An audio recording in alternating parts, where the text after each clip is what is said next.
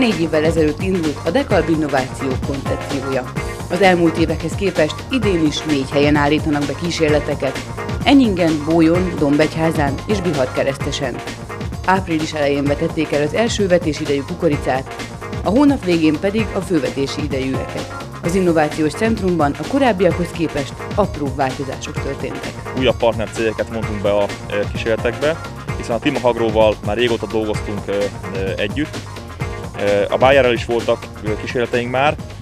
Az idejében elvetésre kerülnek cruiseres kísérletek, illetve a BASF-fel is szorosabbra fűztük az együttműködést. A kísérletekben is történtek kisebb változások. Eddig is voltak tőszám kísérleteink, vetésidő kísérleteink, illetve műtrágyak kísérleteink, de most az idén ezeket kombináltuk. A vetésidő kísérletekben is különböző műtrágyadozásokat állítottunk be, illetve ugyanezt tettük a tőszám kísérleteknél. A gazdák tudják, milyen fontos szerepe van a vetésidőnek a betakarításkori szemnedvesség tartalomban. Az egyes hibrideknek nem egyforma a korai fejlődési eréje, Kíváncsiak vagyunk arra, hogy a különböző műtrágyák, a dózisok, starter műtrágyák hogyan befolyásolják ezt az egyes hibrideknél, illetve kíváncsiak vagyunk arra, hogy az egyes tőszámok változtatásával együtt hogyan nő meg a hibridek műtrágya igénye, hiszen keressük azt, hogy mi az az optimális tőszám, amik a gazdák a legnagyobb termést érhetik el az adott régiókban.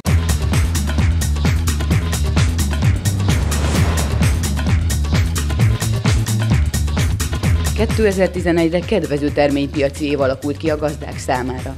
A terményárak viszonylag magasak, a trendeket nézve várható, hogy ez az ármagasság marad egész évben. Sokan le is kötötték már jó áron a kukoricát. Logikus döntés volt a gazdák részéről, hogy ilyen magas terményárakhoz magas terméseket is szeretnének elérni, ezért úgy gondoljuk azt, hogy a technológiákat egy kicsit intenzívebbé tették.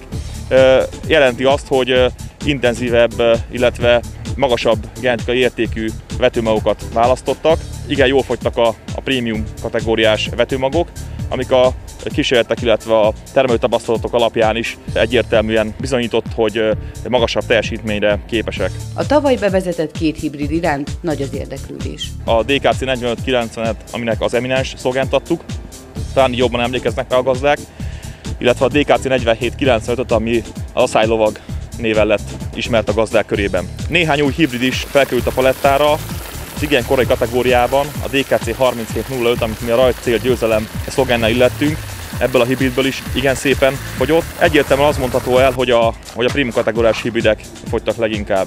A Dekalb márka legfőbb értékei a változatos genetikai háttérben, a nagy terméspotenciálban, a kiváló vízleadó képességben és a kiemelkedő stressztűrő képességben nyilvánulnak meg.